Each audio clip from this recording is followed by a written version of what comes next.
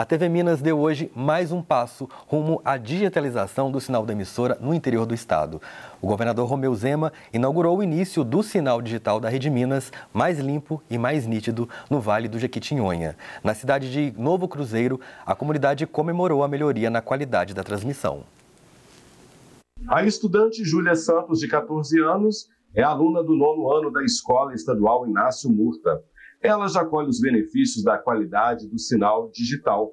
Ela acompanha as aulas por meio do projeto Se Liga na Educação, exibido na Rede Minas em parceria com a Secretaria de Educação.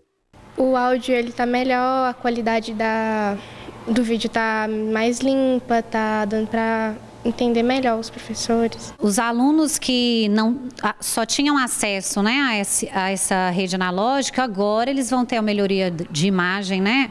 Áudio diferente, imagem digital é completamente diferente. Então, com certeza vai melhorar bastante para os alunos.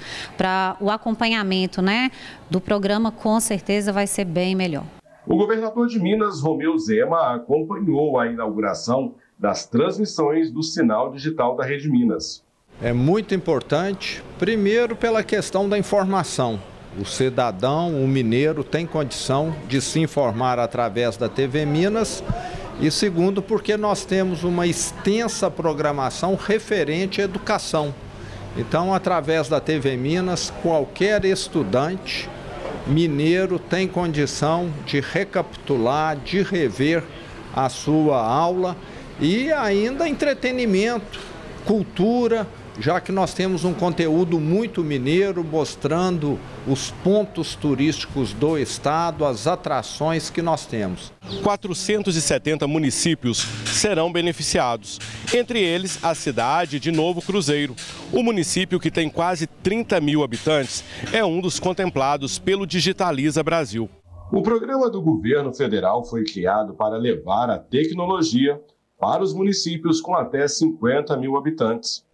Por meio do sinal, os municípios terão acesso à Rede Minas e à multiprogramação da emissora que estreou este mês com conteúdo exclusivo dedicado à educação. O serviço é um recurso da TV digital que possibilita a transmissão de programações distintas em um mesmo canal de TV aberta. O canal Educa oferece um conteúdo especial direcionado à preparação para o Exame Nacional do Ensino Médio, o Enem. São aulas produzidas pela Secretaria de Estado de Educação na TV, durante 24 horas para estudantes e professores. Então, nós queremos que todo aluno mineiro tenha acesso pela internet, na escola, através de apostila e também através da TV, que é mais uma possibilidade. Acessando o site da emissora, você encontra a listagem do canal da Rede Minas e do canal do Educa em cada cidade e a orientação de como sintonizar.